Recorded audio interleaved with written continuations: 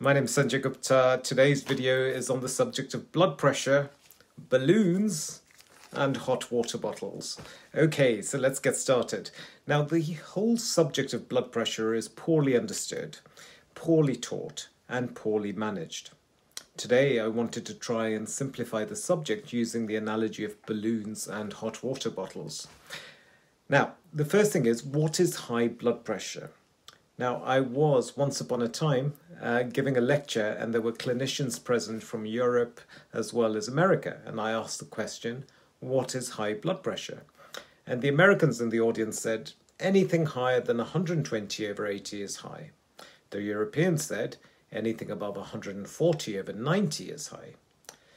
So my response was, Well, if this is the case, if what both of you are saying is true, then why don't we pay for all the American hypertensives, i.e., who have blood pressures of up to 139 over 89, to get a one way ticket to Europe and encourage them to settle there? That would cure their hypertension because 139 over 89 is not considered high in Europe, but it is considered high in America. This would cure their hypertension without subjecting them to a lifetime of medications. How ludicrous is it that a chronic condition can be cured by simply moving a patient to a different continent? The definition of high blood pressure is not a number. The definition of high blood pressure should be that blood pressure that does that individual some form of harm. If it is not doing you any harm, then it is not high for you. And if we think about it this way, we can start to understand how ridiculous the whole notion of taking the whole population and calibrating them against a single set of numbers is. And ironically, this number changes every few years because the so called experts change their mind every few years. Another point to mention is that high blood pressure is important for two reasons. The high blood pressure is a symptom of something else going on in the body, in which case you want to treat and identify the thing that is underlying the high blood pressure readings. In some way, if you don't do this and just treat the number, you are doing the patient a disservice because you have simply silenced a scream for help. Something else is causing the blood pressure to be high. The blood pressure is the scream, and instead of looking for underlying factors, you're just silencing the scream. That will do the patient a disservice because you haven't tackled the underlying issue, and the underlying issue will manifest with some sort of harm later on. Secondly, the blood pressure numbers themselves are causing you some kind of harm, in which case treating and lowering the numbers does make sense.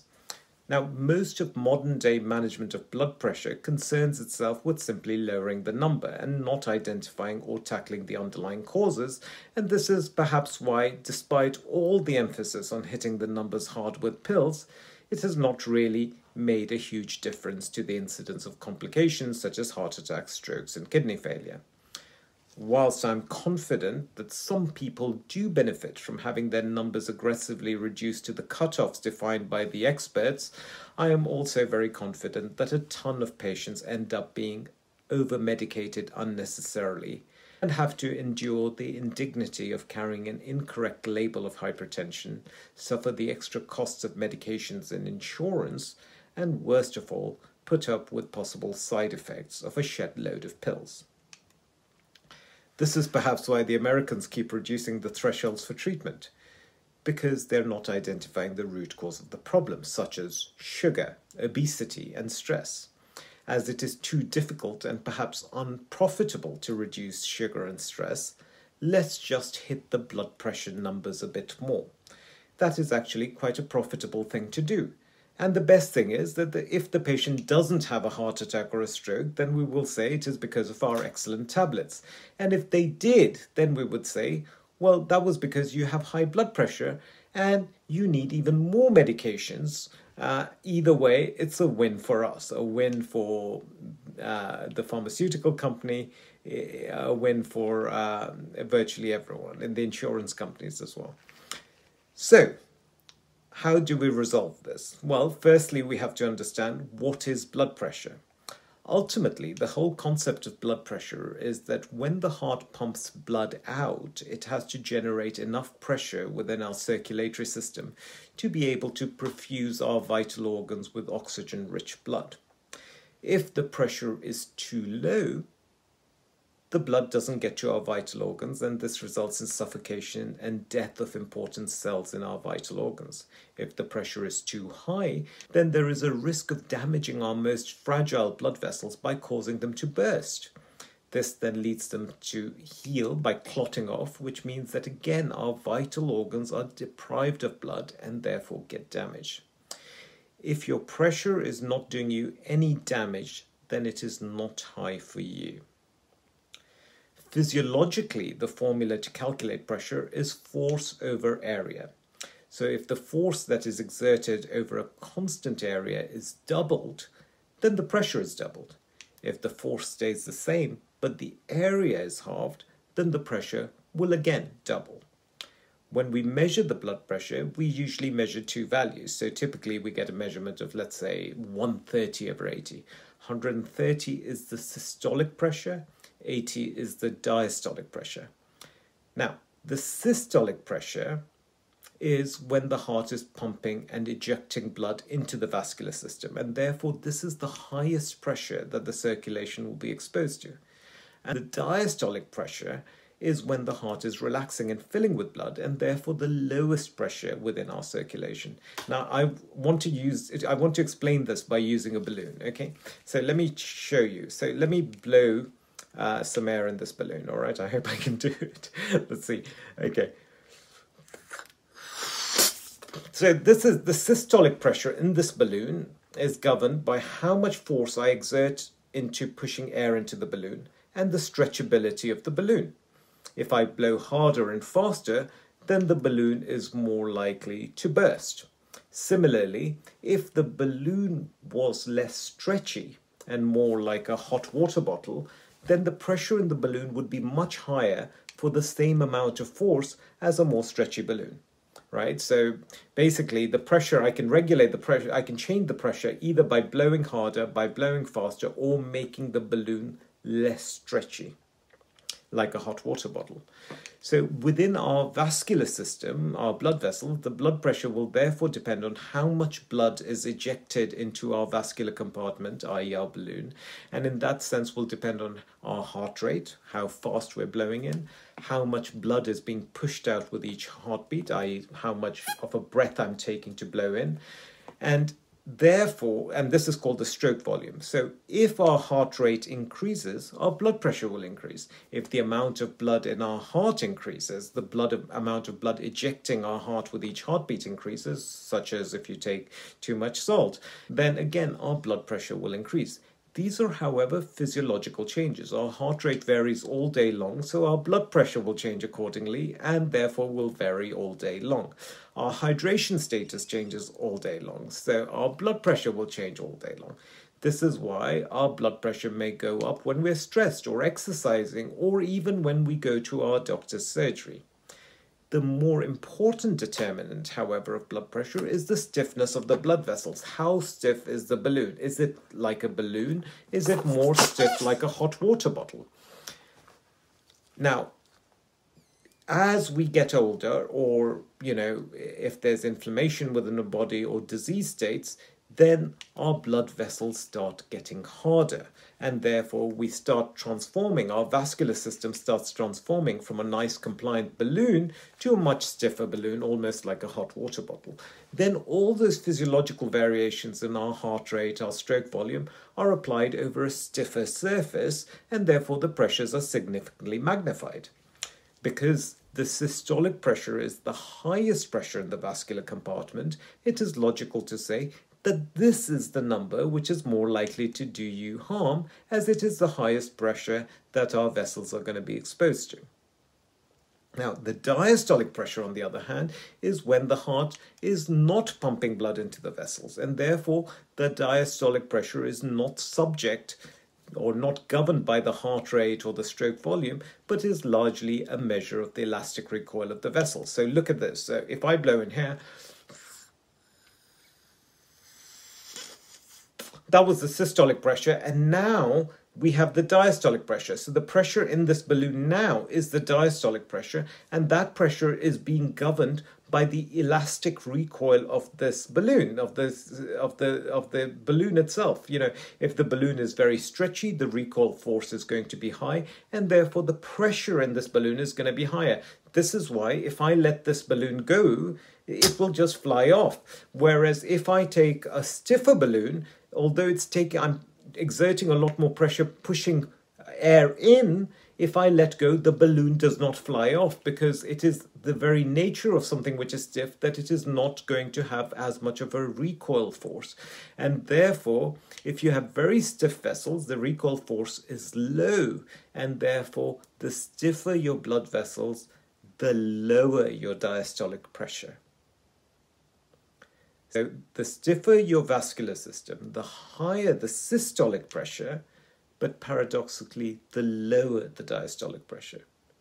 Now, diastole is important because during diastole we fill our heart arteries with blood, and we still need a good diastolic pressure to keep blood going to our brains. And this is why, when our diastolic blood pressure starts falling, particularly as we get older, we become more prone to falls.